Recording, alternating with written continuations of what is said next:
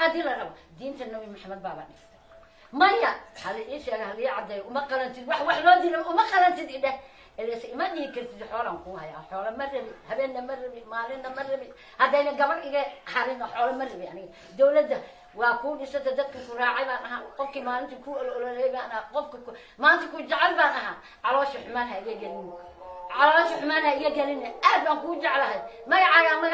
jeclahay dawladdaada dawlad u jeclahay ha iga dhigin qof aad dheeraysay baan ahay hay dheeraynin xoolo dambana ha ii sheegin xoolo dambana ha ii sheegin wiilkii labaatan jirka aa ninka dili tiirka gee gee meesha sharciga raac raac sharciga raac ilaahay ka cabso oo ilaahay ka cabso ilaahay ka cabso ha raacin dadka hadalkooda ma rabay ani hadal dad haddaan hadalkii ku talax tegayna iga raali lahow kulun iyo nusukooyan dhammaan ehelada ex wasiir abaaseg siraaji oo horaanta sanadkan dhagargabuusi ku dili magaalada muqdisho iyo weliba dowladda soomaaliya ko-osadahayna intii la horshaana dhagargabaga tiirka toogashada. Kulunka iyo weliban kureynta miidhisay ku hadalay hooyo xaliimo oo ee maamada dhali ex wasiir abaaseg siraaji iyo weliba yeenase kulan ambaraytay hadalkii dhowaan ayaa kubati dowladda soomaaliya oo waani ahayd intii magdhowgaadan ehelada wasiirka.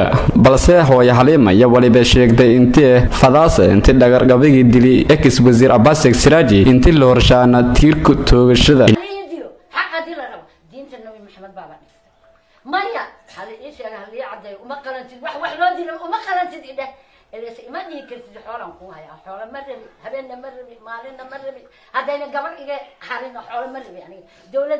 waa kuu dhisata dadka ku raacay baan ahaa qofkii maalintii ku olololey baan ahaa qofka maanta ku jecel baan ahaa. Caloosha xumaan ha caloosha xumaan ha iga gelin aad baan kuu jeclahay. Magacaagaa magac u jeclahay. Dawladdaada dawlad u jeclahay. Ha iga dhigin. Qof aad dheeraysay baan ahay. Hay dheeraynin xoolo dambana ha ii sheegin. Xoolo dambana ha ii sheegin. Wiilkii labaatan jirka aa ninka dili tiirka gee gee meesha? Sharciga raac raac. Sharciga raac. Ilaahay ka cabso. Oo ilaahay ka cabso. Ilaahay ka cabso. Ha raacin dadka hadalkooda. Ma rabay ani hadal dad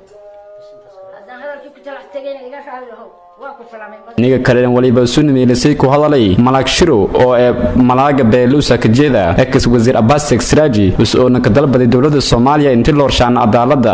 Qobay qoomiyadda digil iyo mirifle wasiirsho la dili ay dhimidi likuwaali lanka kala hirin la qiimayo waaye marka farmaajo shalay migi la dooradaay sagiir iyo kabiir soomaali unu labaatan malaag meelo fadhiina kaba bustoojilay intii ku dhammaada kora an haay ridaay farax adduunya laley geeka maynoo teegantaa ee lankun sewal an wada jacaylka intay ku qaadi may dhibaatadun wal waa maxkamad dhammayti lama kol maxkamad laka dhammaay hal diloy la ari sababta dhininka an shareeriyaw ma ata gebagabadii waliba sunimiilisay ku hadalay wasiir ku-xigeenka maaliyadda maamulka koonfur galbeed ee soomaaliya cabdaldhiif maxamed is-oona ka codsaday dowladda soomaaliya intii la horshaana cadaalada dhagargabigii dili ex wasiir abaaseg siraaji waajib ka saaran tahay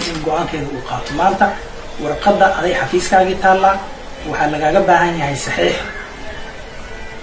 Saxiixaas warqadda aad saxiixaysidna ma ahan mid ku dhisan in lagaa codsado ama lagaa baryo ma aha waa mid rabbigii adig ku abuuray ku amray kitaabka munazalka ah ku qoran oo maanta aan laguu sheegaynin oo jaahila ka tahay aan lagu dhehaynin oo maanta aad og tahay oo diinta wax ka taqaanid.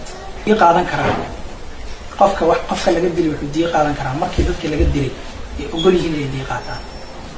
Ciddii laga dilay ma ogola inay dii qaataan ma ogola in la cafiyo sababta ma garanayno marka muxuu ahaay waqtigu u dheeraaday intaan u soo gaarin lama garan karo. Waa timir lafaa ku jirtaa la dhahaa. Annaga haddaan ummaddii soomaaliya nahay haddaan yacni siyaasiyiintii nahay waxaan aaminsan nahay in cadaalad darre ay tahay. Haddii sida ugu dhaqsiyaha badan go'aankeedii a u qaadan weysana ummadda soomaaliyeed oo dhan